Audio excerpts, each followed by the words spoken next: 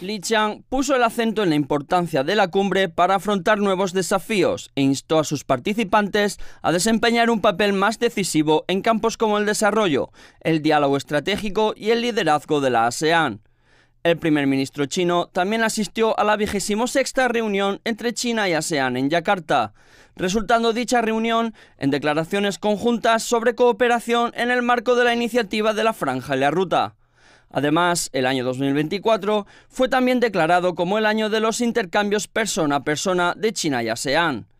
El primer ministro Lee hizo un llamamiento al fortalecimiento de la cooperación entre las naciones del sudeste asiático y sus socios de Asia Oriental, en el momento en el que se dirigió a una cumbre en Yakarta que incluía líderes de países miembros de la ASEAN y de tres naciones de Asia Oriental.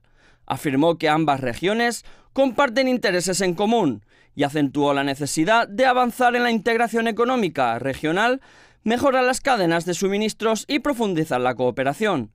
Antes, el primer ministro chino asistió a la reunión de líderes de Asia Oriental en Yakarta y efectuó una visita oficial a Indonesia.